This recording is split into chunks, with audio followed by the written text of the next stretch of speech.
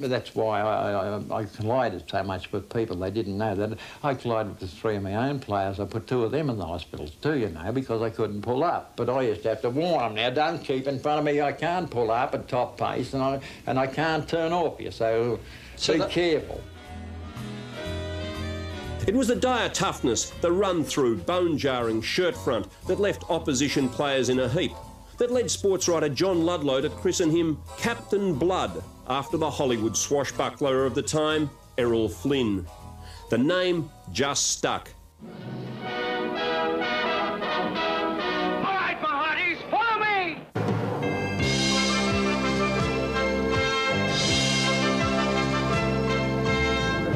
lip and he gets his hip, followed by a smack in the mouth. Your nose is gone, it's moved to the and your collarbone's gone due south. Now you just ask his little mate Lou, who's never been a liar. You are never safe from Captain Blood, the infamous Jack Dyer.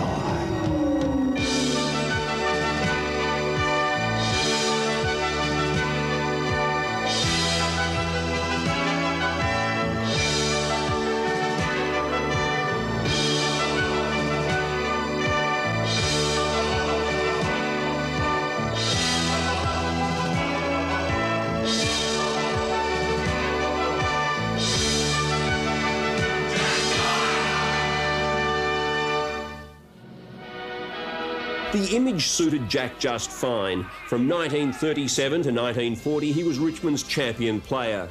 He remains the only man to have won the club best and fairest four times in succession.